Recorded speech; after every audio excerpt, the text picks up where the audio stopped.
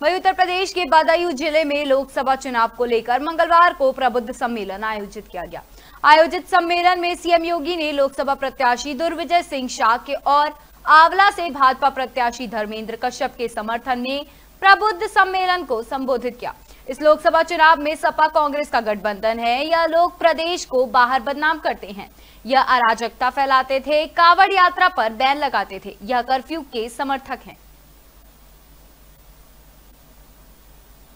हमको देखना होगा, एक तरफ़ समाजवादी पार्टी और कांग्रेस का गठबंधन है। समाजवादी पार्टी के लोग, कांग्रेस के लोग क्या नहीं करते थे प्रदेश के बारे में? क्या नहीं बोलते हैं बाहर क्या करते बदनाम करते थे। पहचान का संकट इन्होंने खड़ा कर दिया था। अराजकता फैलाते थे।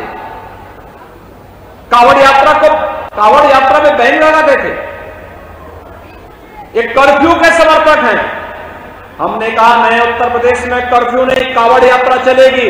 आज आप देखते होंगे, इनके समय में तो गुंडे जगह जगह बम विस्फोट करते थे, बमबाजी करते थे।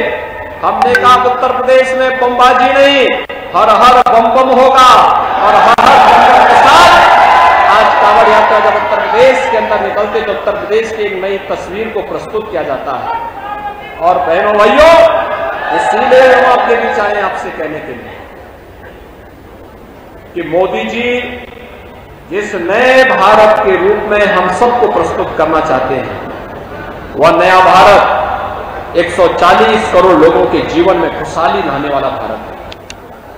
उस नए भारत के लिए हम सबको प्राणपण से जुटना है और इसमें हमारे प्रबुद्ध जनों की सबसे बड़ी भूमिका होने जा रही है।